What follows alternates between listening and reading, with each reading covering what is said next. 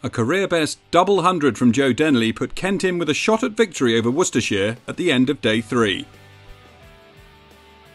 Kent resumed their second innings on day three on 120 for three, an overall lead of 44 with seven wickets in hand. Denly started the day 67 not out, but Weatherley couldn't add to his overnight score of 24 before Leach struck in just the third over of the day. Denly pressed on with support from new partner Stevens. But Stevens chose the wrong ball to leave and paid the price out LBW to Leach for 19.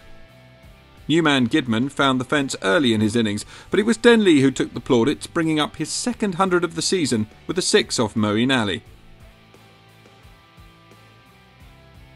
As Denly pressed on, the wickets kept falling around him. Gidman outcaught Whiteley bowled Hastings for 19. Kent 221 for 6 at the lunch break. The middle session very much belonged to the visitors, with Rouse providing excellent support alongside Denly. Kent started to build a solid lead as the pair piled on the runs, Denly going past 150 and Rouse notching a half century of his own.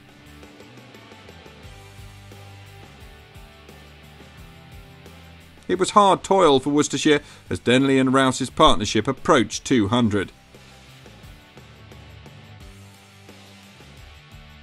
They would fall one short of the mark, but the damage had been done. Tea taken when Rouse was out for 68, Denly still at the crease on 177, and Kent's lead now worth 278.